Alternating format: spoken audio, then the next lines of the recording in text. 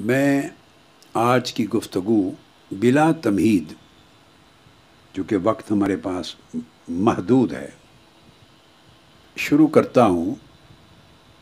حضرت شقیق بلخی اور حاتم اسم کے ایک مکالمے سے۔ حضرت شقیق بلخی رضی اللہ تعالیٰ عنہ صلف صالحین میں سے اکابر اولیاء اور عارفین میں سے ایک اہم فرد ہے۔ جو سیدنا امام جعفر الصادق رضی اللہ تعالی عنہ اور اس دور کے جو اقران تھے آپ کے، ان لوگوں میں سے ہیں، ان کے اقران میں سے، اور ان کے اصحاب میں سے، اور ان کے تلامزہ میں سے ہیں۔ ان کے ایک شاگرد تھے حضرت حاتم الاسم رضی اللہ تعالیٰ عنہ۔ انہوں نے تیس برس حضرت حاتم اسم نے تیس برس حضرت شقیق بلخی رضی اللہ تعالیٰ عنہ کی صحبت میں تربیت میں گزارے۔ آپ نام سے اندازہ کر رہے ہیں شقیق بلخی کے نام سے کہ افغانستان کے شہر بلخ کے رہنے والے تھے۔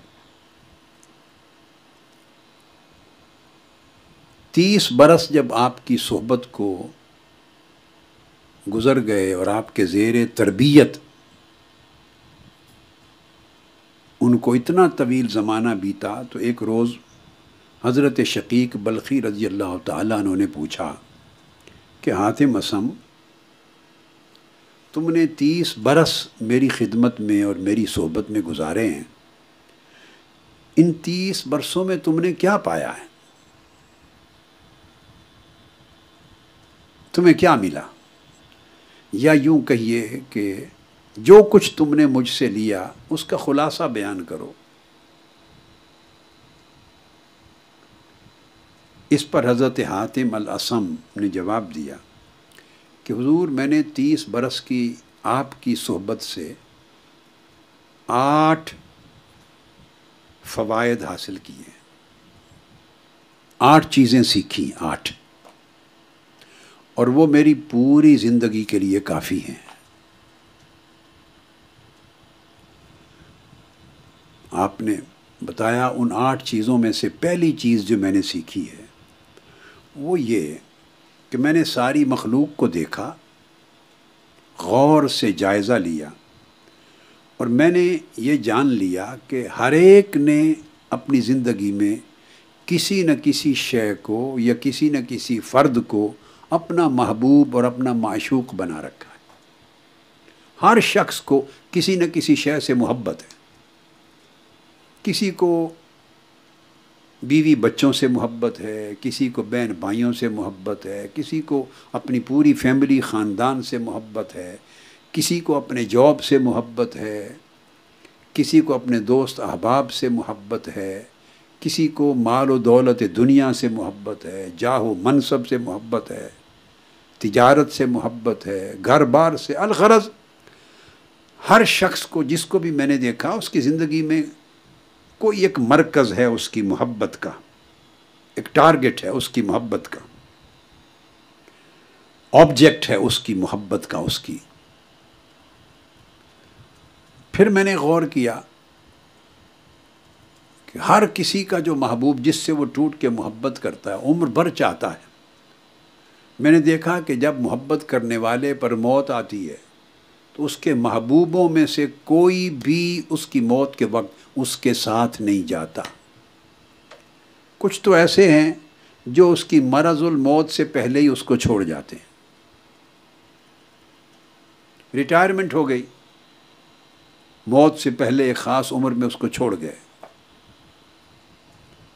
کچھ ایسے ہیں جو اس کی مرض الموت تک چلتے آتے ہیں اس کے پاس۔ آخری بیماری تک آتے ہیں۔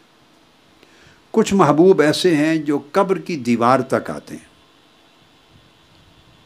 بس سارے محبوب اور سارے معشوق جن کے لیے بندہ جیتا اور مرتا ہے، وہ اس وقت اسے چھوڑ جاتے ہیں جب اسے قبر کے گڑے میں اتارا جاتا ہے اور خاک کے نیچے رکھ دیا جاتا ہے۔ میں نے دیکھا کسی کا محبوب اس کے ساتھ اندر نہیں جاتا۔ قبر میں اسے تنہائی ہوتی ہے۔ اور تنہائی کے بعد خدا جانے کس پر کتنی وحشت ہے، کس پر کتنی خوف زدگی ہے، کس پر کیا عالم ہے۔ مگر جن سے وہ محبت کرتا ہے، ان میں کوئی اس وحشت اور تنہائی کے وقت میں اس کے ساتھ نہیں ہوتا۔ میں نے جب یہ بات جان لی تو میں نے کہا کیوں نہ کسی ایسی شے کو محبوب بنایا جائے اور کسی ایسی چیز سے محبت کی جائے جو قبر کی تنہائی میں بھی ساتھ ہو۔ محبوب سے کیا ہوتا ہے؟ محبوب کو دیکھ کے بندے کو انس پیدا ہوتا ہے۔ معانست ہوتی ہے، بندے کو اطمینان ہوتا ہے، راحت ہوتی ہے، اس کی تنہائی چلی جاتی ہے، وحشت چلی جاتی ہے۔ تو جس محبوب نے وحشت اور تنہائی کے وقت اس کے ساتھ ہی نہیں ہونا عین وہ وقت جب اس کو درکار ہے معانست وہ دستیاب نہیں۔ تو میں نے چاہا کہ کسی ایسے کو محبوب بناؤں جو عین اس قبر کی وحشت اور تنہائی کے وقت میرے ساتھ ہو۔ پھر میں نے غور کیا۔ اللہ رب العزت کے فرمان پہ نظر گئی کہ وہ کس محبوب کی نشاندہی فرماتا ہے میرا اللہ، کہ جو قبر کی وحشت اور تنہائی میں بھی میرے ساتھ ہوگا۔ تو مجھے پتہ چلا کہ سوائے اعمال صالحہ کے اور کوئی قبر میں ساتھ نہیں ہوگا۔ سو میں نے اعمال صالحہ کو اپنا محبوب بنا لیا ہے۔ نماز کو، روزے کو، صدقات کو، خیرات کو، سچائی کو، بھلائی کو، نیکی کو، احسان کو، عصمت و عفت کو، تقوی کو، پرہیزگاری کو ذکر اذکار کو، رزق حلال کو، لوگوں کے ساتھ خیر سے پیش آنے کے عمل کو جتنی نیکیاں ہیں، عبادات ہیں خواہ وہ اللہ کے تعلق میں ہیں خواہ وہ مخلوق کے تعلق میں ہیں۔ میں نے اعمال صالحہ کو اپنا محبوب بنا لیا ہے تاکہ یہ اعمال صالحہ قبر میں میرے لیے چراغ بھی بنے۔ جب اندھیرے کا وقت آئے تو یہ میری قبر کو روشن کر دیں۔ جب تنہائی کا وقت آئے تو یہ مجھے پھر اپنی